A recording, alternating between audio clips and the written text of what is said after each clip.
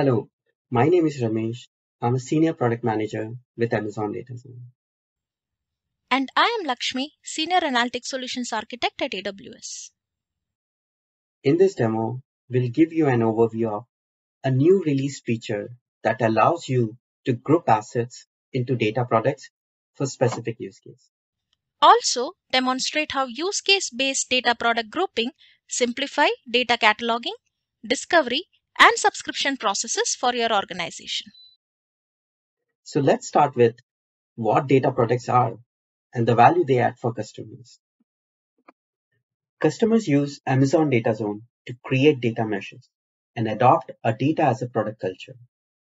DataZone already supports cataloging data assets from diverse sources, enriching them with business context, and making them discoverable for consumers across organizations. In addition, customers also wanted capabilities to bundle these assets together with use case and relational context and publish them as a cohesive units for data discovery. This to maximize the potential of data as a product aligned with their business outcomes.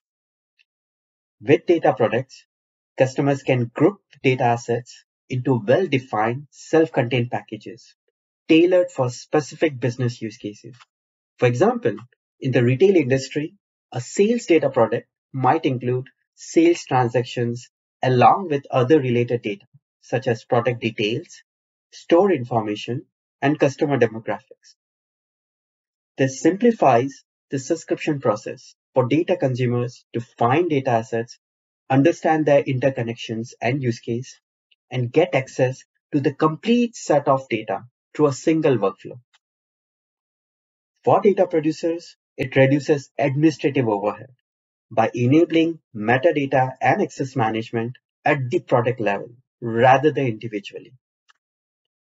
This saves time, enhances data understanding and utilization across the organization.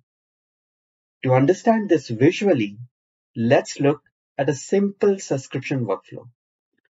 Without data products, consumer needing multiple data assets for comprehensive insights must individually discover, request, and subscribe to each data asset. Data producer must approve each subscription request, which can lead to a cycle of requests and approvals. With data products, the subscription workflow is simplified. Consumers can discover and subscribe to a single data product that bundles multiple related data assets. This one-time subscription request grants access to all the underlying assets, eliminating the need for multiple approvals and requests. Similarly, in the publishing workflow, data producer can ingest data from diverse data source, bundle them into a data product, enrich it, and publish it to consumers. In this example, the data producer creates a sales data product by grouping data assets from data lake and data warehouse. Let's walk through this architecture taking an example of two teams, sales and marketing. The sales team's data include transaction orders stored in a data lake and customer information stored in data warehouse. The marketing team stores their campaign data in a separate data warehouse. Both the teams import the metadata into the inventory of their projects in Amazon DataZone, leveraging it as a central cataloging hub to streamline their data management and collaboration process. The data assets in the inventory can be enriched further with business glossaries, metadata forms, data quality scores, lineage, and automated metadata generation of summary, business column names, and its descriptions. The sales team creates sales data product by bundling related data assets from the inventory, while the marketing team creates marketing data product by grouping the data assets of campaign data. The marketing team needs insights on top selling products to enhance campaign effectiveness and hence discovers and subscribes to the sales data product in Amazon DataZone. This subscription request triggers a notification to the sales team who then reviews and approves the request. Once approved and subscription grants are fulfilled, the sales data product appears in the subscribe data section in the marketing team's project and is also added to the relevant environment. This allows the marketing team to consume the data using their preferred analytical tools. To illustrate this flow, we can use two personas. Mary, who is a data owner from the sales team, she is in charge of creating, documenting, and publishing sales related data. From the marketing team, we have Mike, who is in charge of analyzing the data subscribed from sales team to get insights on best selling products or effective campaigns across regions. Mary's responsibilities include creating data products, adding business metadata to the data product, publishing the data product, and approving the subscription requests. Mike's responsibilities include discovering the data product, subscribing and consuming the data product. Now let's look at the detailed workflow step by step, focusing on our two key personas, Mary and Mike. We will start with Mary's responsibilities on creating and publishing data products. Mary logs into Amazon DataZone portal using single sign-on credentials. Upon accessing the portal, Mary selects the project sales and under data, Mary notices that the inventory data section is currently empty with no data assets present. To populate the inventory, Mary creates data sources to import the technical metadata of existing data stored in the data lake. On initiating the execution of the data source, the process pulls in the metadata from the specified locations. Once the execution is complete, Mary is able to see all the data assets populated in the inventory data section. Here we have three data assets, products, orders, and order items from the data lake. Mary clicks on each of these data asset and enriches it further using automated metadata generation. Once the data assets are enriched with business names, Mary clicks on Data Products, creates a new data product, provides a name to the data product,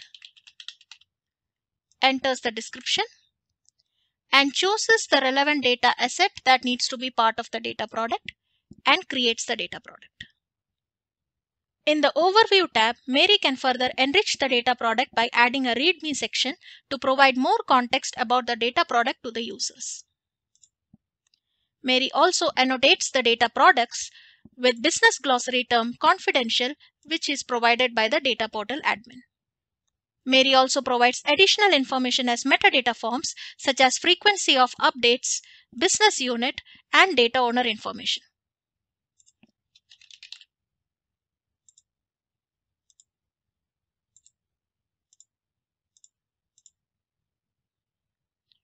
Once the data product is enriched, Mary publishes the data product. Once the data product is published, we can see the data product is now available in the published data section under the tab data products.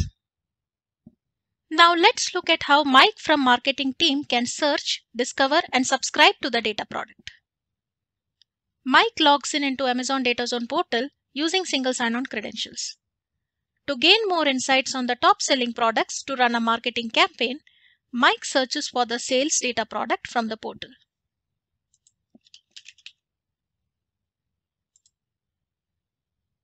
Mike clicks on the sales data product, reviews the information and the data sets that is made available and then clicks on subscribe by providing appropriate justification. This subscription is then sent to sales team where Mary gets the notification of the subscription request. Now let's look at the subscription approval workflow process from the sales team.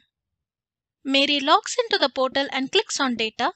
Under the incoming requests, Mary sees the request to consume the sales data product.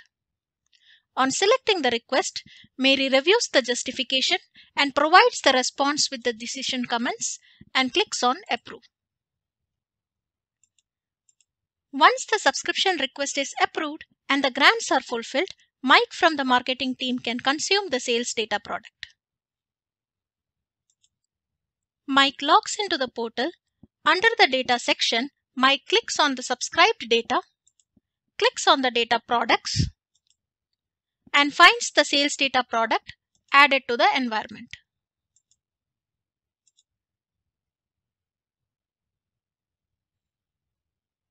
Mike selects the environment under the project marketing and selects Redshift query editor to consume the data from the data lake. The subscribed data assets from the data lake can be found under the marketing DB.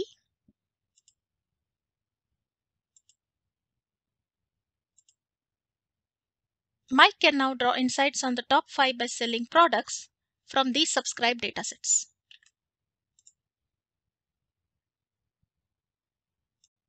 Now, as new data sources become available, the sales team integrates these sources into their ecosystem and continuously expands the existing data product by adding relevant elements and entities to it. In this case, let's understand how Mary adds new data asset to the data product and republishes the data product. Mary logs into the portal and under the inventory data section, clicks on the new customers data asset, selects action, and chooses to add to the existing sales data product. Once the data asset is added, Mary republishes the data product.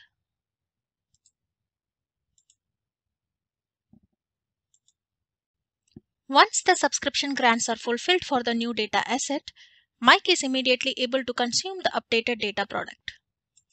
In the Redshift query editor, Mike sees the new data asset customers shared by the sales team. Using this information, Mike can combine campaigns data generated by the marketing team along with the subscribed sales data product to understand top customers based on spending and identify which of these customers participated in the marketing campaign. Amazon DataZone already facilitates data cataloging from various sources for our customers. As an extension to Amazon DataZone's existing features, the introduction of data products significantly enhances the data management experience for producers and consumers.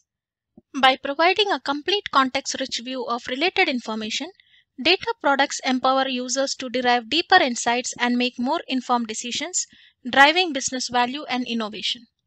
Thank you for watching.